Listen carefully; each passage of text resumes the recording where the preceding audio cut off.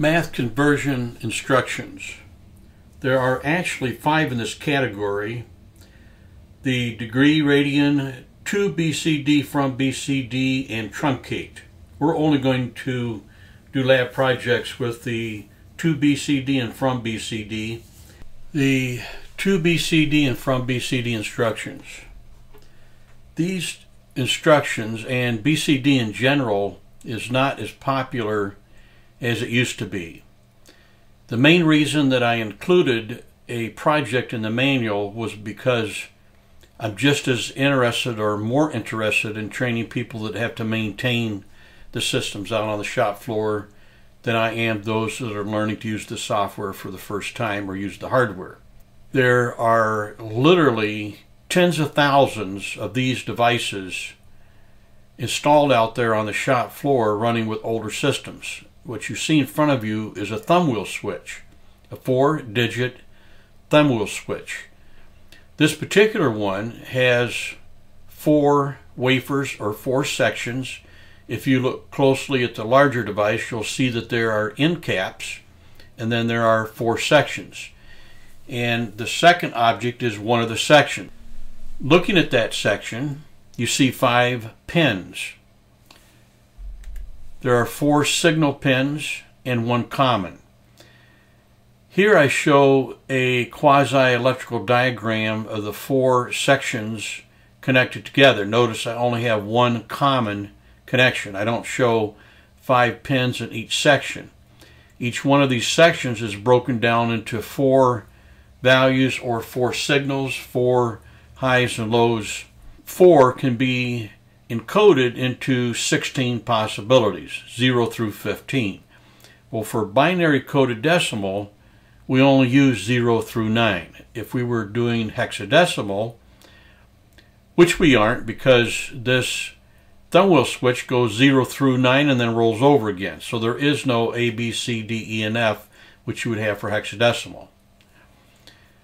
So out of the four pins, 1, 2, 4, and 8, remember, you've 1 plus 2 plus 4 plus 8 is 15. We're never going to see anything above 9. You're going to see 0 through 9. Now here I have some 16-bit integers divided up into four groups of bits, four groups of four bits. So if you consider the four layer or four segment thumb wheel switch, that gives you 16 bits or four groups of four. If we take the first four bits and we consider their position, now the position up in the diagram with 1 to the far left, then 2, 4, and then 8 on the far right, you can ignore that. That's just a diagram but I'm going to convert that first or the most significant digit of the BCD first, which is 0110. If you add that up, you've got no 8s, you have a 4, a 2, it adds up to 6. If we look at the next group, we have an 8, no 4, no 2, and a 1. 8 plus 1 is 9. Look at the next group, 0011, we have no 8, no 4, we have a 2, and a 1, which is 3. Look at the next group. We have an 8, no 4, no 2, no 1, which is 8. That's how easy it is to convert BCD from binary to BCD. Now 16 bits is 16 bits. Just looking at 16 bits, you have no idea what's meant by the programmer. Those 16 bits could represent anything, as you will find out, or you already have found out doing the lab. So if we take the next group, four zeros, well, that's zero. We have an 8, we have a 1, a 2, and a 4. That adds up to 7 decimal. And then we have 0. Take the next group. We have a 2, a 1, a 4 and a 2 is 6, and we have a 2. 2, 1, 6, 2. The last group, we have a 2, a 4, and a 1 is 5. A 2 plus 1 is 3, and an 8. 2, 5, 3, 8. That's simple. Now looking at the actual logic that we had you edit in the lab project manual, The first rung, if we turn on that switch, input zero, we have a retentive on timer that is incrementing. And of course, all timer data types in 5000 are one thousandths of a second. So you're accumulating thousandths of a second. And this will continue to do so until in the second rung it reaches 99,999. It can go much higher than that. But we reset it back to zero when it gets to 99,999. All that it gives us is a moving value of integer to work with for our Todd and Fred instructions. I had you add these two rungs and remember the the only purpose for the first two rungs of logic is just to give a changing value, a changing value of a double integer to use for conversion, well, to BCD and back from BCD. And we have a, I call them Todd and Fred, a to BCD and a from BCD instructions. They're really simple, and you can see that the changing value timer data type, the accumulate value, if you look at it and then you look down at the bottom of the destination and the from BCD, you'll see they're, they're equal. And in between BCD element 0 of that array is the BCD value converted from the decimal value. Now there's no reason to convert from decimal to BCD unless you have a device that needs BCD. And you have no reason to convert from BCD to decimal unless you have a device that generates BCD. And in the lab projects, or I should say in the manual, I show you those two devices. A thumb wheel switch is one that produces BCD, and then the seven segment display is a device that uses BCD to display a value. The from BCD would come from the thumb wheel switch. And then if you wanted to work with the math, with the decimals and stuff, in words, you wouldn't ordinarily do any math with BCD. You would do it with integer, double integer, floating point, etc. But if you have devices that require BCD, then you need these two instructions to interface back and forth between these two devices. Another thing that we had you do is we had you change the appearance of how the information is displayed by selecting the tag and editing the tag and for style select binary. Now you can see the binary bit pattern. This is actually what is in the computer.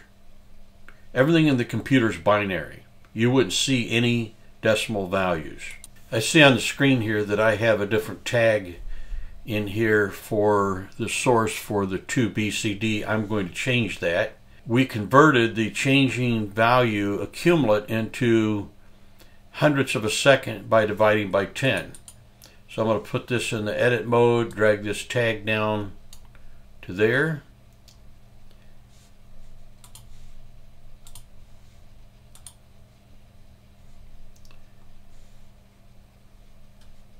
And we'll change these to binary.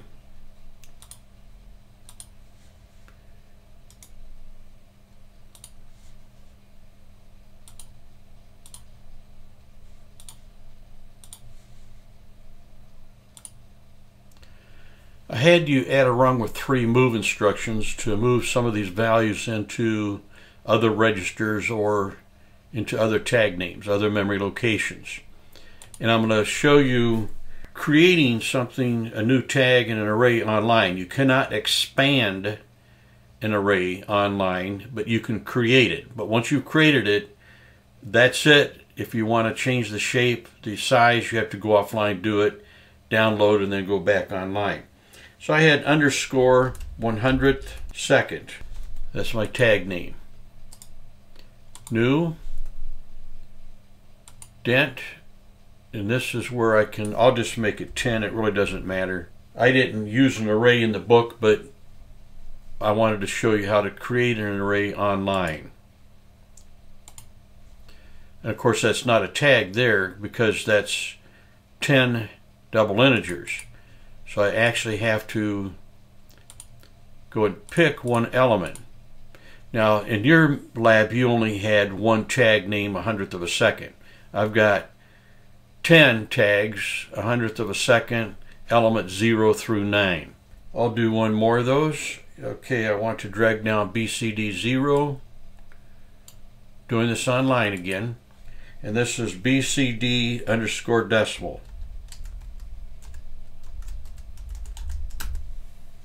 And I want it to be element 0.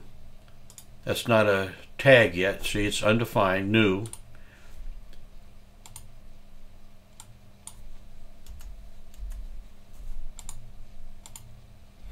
Now, if I'll, I'll pick this element 0. Now, if I try to edit this, see, this is grayed out. I cannot go in and change the size of the array once it's been created. Once it's been allocated a memory location, that's it. If you want to change it, you have to go offline, make the changes, and then download it.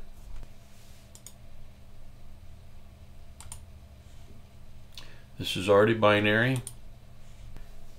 After you put in these move instructions, if this is not showing up with 32 binary a 32-bit DINT. In other words, if it's showing it kind of truncated or only partially displayed, just double click on it and then click out of it and it'll pop it up to the full length. This rung right here, sole purpose, is so you can look at this binary pattern and see the decimal equivalent. See, this is a decimal shown in binary, shown in decimal. Hundredths of a second, binary, decimal, and then BCD, binary, and decimal. And you can see that these are not the same value. Then I had to add equal instructions and no-op instructions after the Todd and the Fred, the to BCD and the from BCD. The equal instruction, I'm using it as a display. By the way, you see that this doesn't show the full 32 bits. If you double click on it and then click off of it, it'll expand it out. Here you have hundredths of a second and hundredths of a second. Now they're two different tags.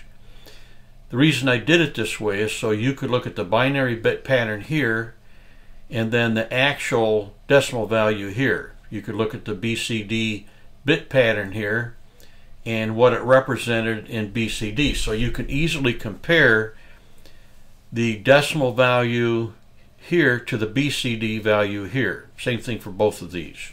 If you actually want to look at the values, all that you need to do, remember that this logic up here just generates you a number. So this is the actual logic that you're working with.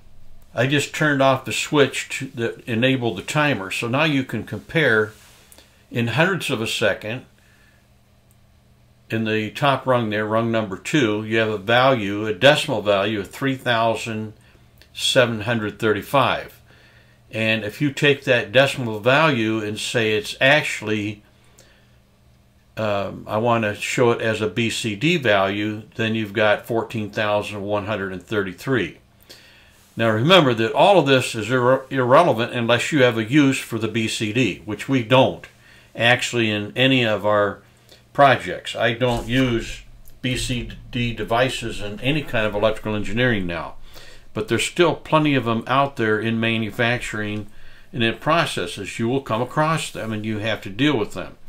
And remember, for a person who's working on somebody else's code or ladder logic, you actually have to a greater challenge interpreting somebody else's code than you do writing your own. Now, everybody when they first starts out struggles to write ladder logic for an application, what we call a blank sheet program, where you start with absolutely nothing, trying to decide what the first rung is supposed to be that's always a challenge. And we're not going to get into that procedure right now. But my point is, right now what you're doing is familiarizing yourself with BCD, not the actual application. Now we're going to look at some of these values in a different format and discuss them. Okay, here's uh, a couple examples. We take the binary, and this binary is the value that you see hundredths of a second. And if you convert it to decimal, it's 26,936.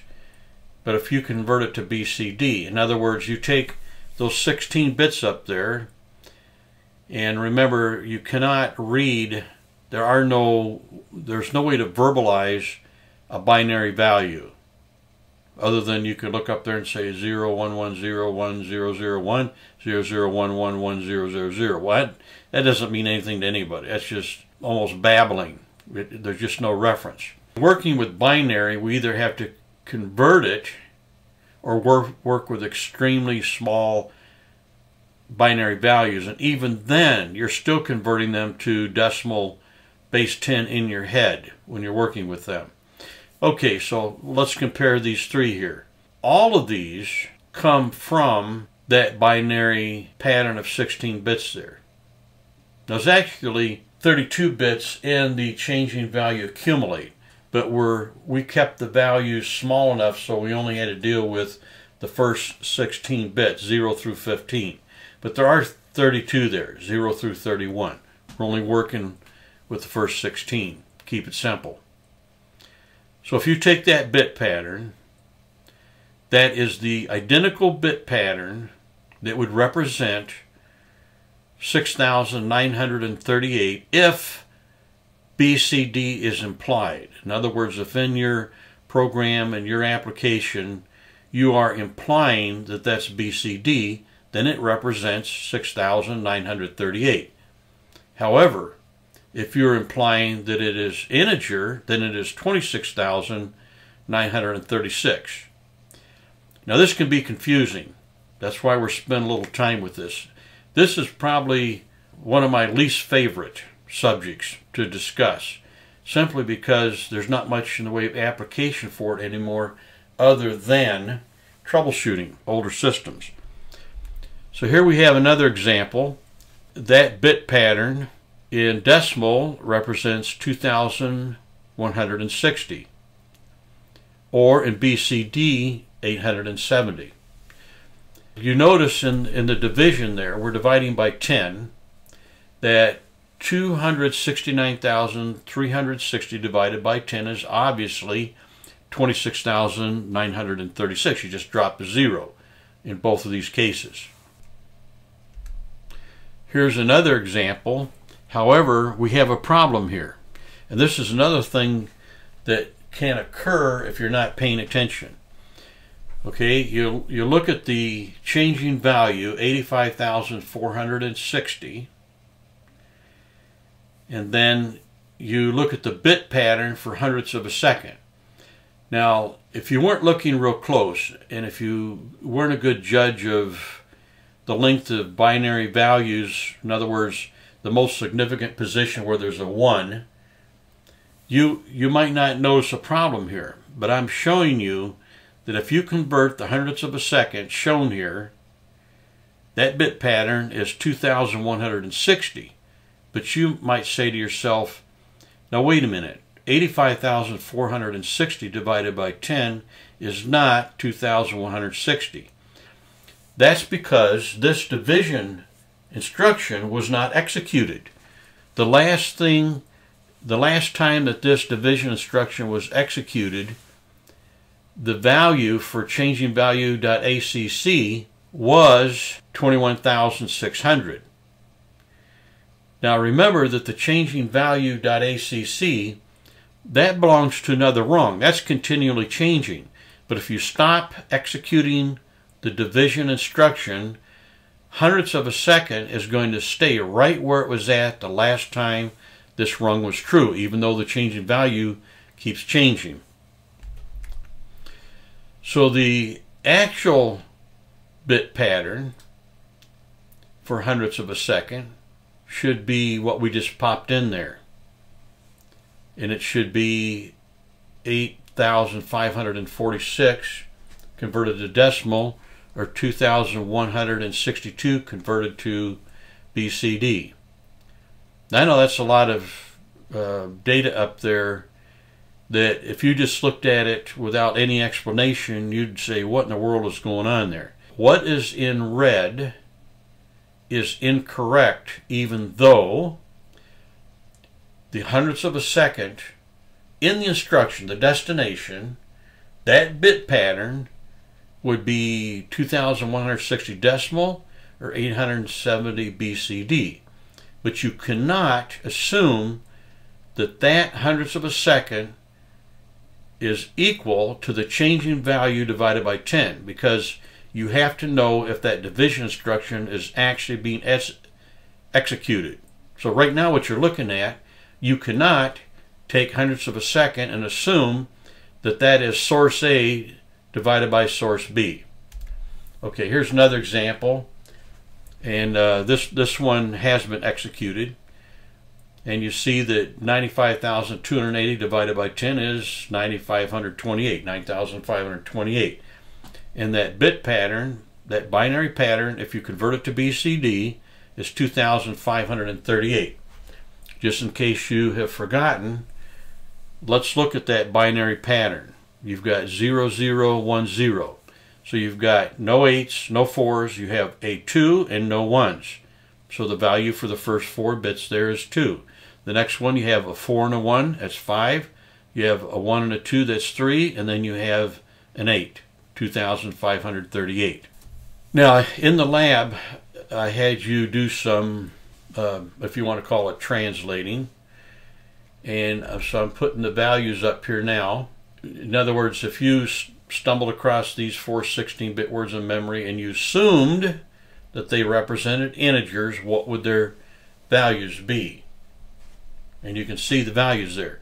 Now, in order for you to do this, you would have to, let's just take the first one up there that has a decimal of 26,936 you would have to step through those 16 bits and go, okay, let's start with the first four, the, the least significant bit, which is zero. So I have no ones, no twos, no fours, and I have an eight. You'd have to write down eight. Then I have a 16, a 32, no 64s, no 128, and I have a 256.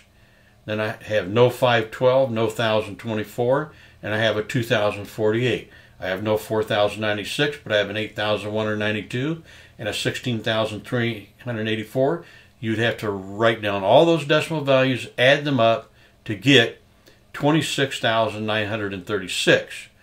Or you could go to your calculator in Windows, set it to programmer, and then type in the binary value and then change the display to decimal and you'd see 26,936.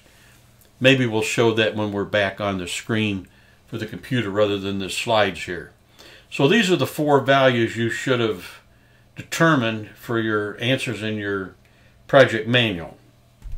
Now, if you took those same four bit patterns, we have the same four repeated, but you knew that they were intended, intended to be BCD, what would the values be? See, completely different. So 26,936 above, if you're assuming that those 16 bits are decimal, down below, if you assume they're BCD, then it's 6938. And you can look at those four groups of four. The, the, the most significant you have a 4 and a 2, that's 6. You have an 8 and a 1, that's 9. You have a 1 and a 2, that's 3. And you have an 8, 6,938. Real simple to convert the bit patterns to BCD. Converting it to decimal, though, now that's a challenge. And in the manual, I showed you how to do, how to use the calculator in order to do this process. Now, this is the device that generates BCD and you want to convert it to decimal.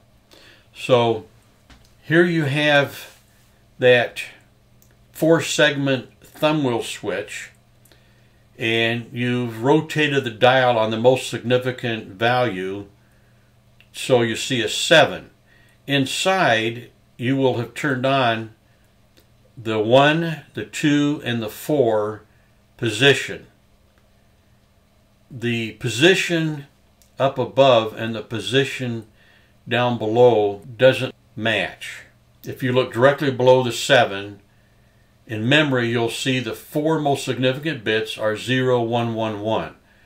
And you know that that's a 7. If, if you look at the next four, you've got 0, 0, 0, 1. I'm reading them from most significant to least significant. So if you want to start all the way over at the far right with least significant, you've got no 1, you have a 2, no 4, no 8. So that's a value of 2. What I wanted to point out is that in the thumb wheel switches, the thumb wheel has eccentrics in there and levers that turn on the switches to encode the decimal value. The memory value, uh, controller I.O. backplane, comes from you know an input module. By the way, these uh, thumb wheel switches would use a 16 discrete input module to bring in the state of these 16 switches, four for each of the segments. And in memory, you would have that 16 bit pattern. And then you would use a from BCD to decimal to convert it. So in other words, the the instruction itself is taking that bit pattern from those four segments of thumb wheel switch and it is creating a decimal value. It's no longer a BCD value. The BCD is in the top memory location. And then your logic used the FRED from BCD instruction to convert it to a decimal value that represents what the BCD device generated. Uh, really not that complicated, but sometimes hard to keep track of if you're only looking at the bit patterns. The last thing we did in the lab was had you delete all of your rungs of logic and add this one rung. So, and we created a couple new tags, thumb wheel switch and BCD display. So we have a thumb wheel switch and it sends in a binary value and we convert it from BCD to decimal. But we store it in a tag called BCD just so we know it came from a BCD value.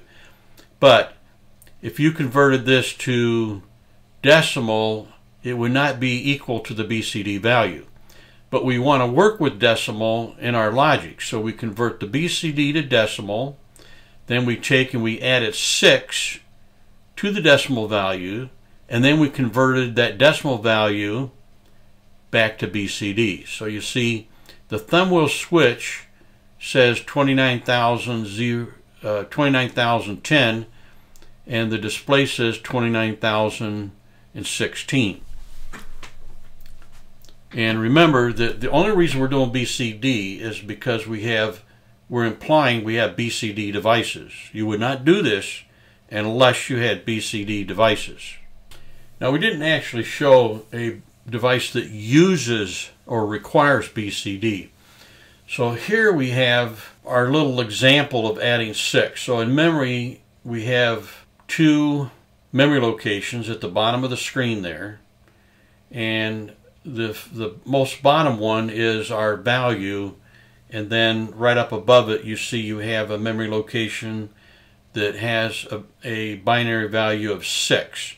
If you look to the far right, zero is your least significant bit, then a two and a four equals 6. So we're adding the bottom memory location to the next one up in logic and the result is displayed right above the add BCD element 0 plus 6.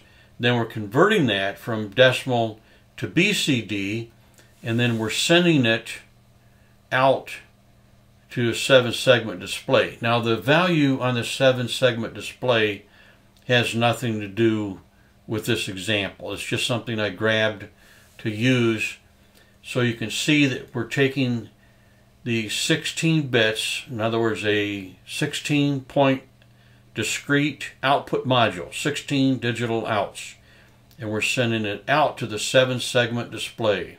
Each four group of four inputs drives one seven segment display. Each of those uh, BCD to seven segment decoders have a one, a two, a four, and an eight. And then the electronics in there illuminates the segments to show the values. Now the value in my memory location matches the project, not the green lit up segments. So I hope that didn't confuse you. I didn't think it was worth the time to create another graphic that exactly matched. Okay, what is the bit pattern for the value 7531 BCD? And you can look at the bit pattern there, 0, 1, 1, 1. That's a 7, correct? A 1, a 2, and a 4 adds up to 7. A 1 and a 4 adds up to 5, a 1 and a 2 adds up to 3, and a 1 is a 1. What is the bit pattern for the value 7,531 as an integer? Not the same. And we bring them up close for comparison. So the one on the top is 7,531 is an integer shown in binary, and the bottom one is 7,531 as a BCD. So you can see how you could easily get confused. That's why if you're going to work with BCD, you have to keep very close track of who's on first and who's on second. Not my most favorite subject, but I labored my way through it just in case anybody was interested that, that is working with the manual. Thank you. We're going to include the just for fun at the end here simply because it's just more of the work with BCD. What we had you do, we had you take 16 bits from one word called thumb wheel switch 0, 1, 2, 3, 4, 5, and so on down to bit 15 and then we technically map those in to four separate values. So we have units 0, 1, 2, 3, tens 0, 1, 2, 3. Then we had you use code to multiply the tens, the four bits by 10 to get a unit of tens. In other words, units are units. So the first four up here, we didn't have to alter those. So units 0, 1, 2, and 3, those four bits, whatever they come up to in BCD, they're the units. Then the second group of four, we multiplied by 10, then the third group by 100, and the last group by 1,000. Then we added the units to uh, BCD 0, which is the tens, and then we added, and we put it in 3. So we took the sum of units and tens and added it to hundreds and put it back into this same register. Then we took and added the thousands to the addition of all the others to get a final value. And that's all we did in that entire just for fun. Basically, I took the long way to do the BCD conversion.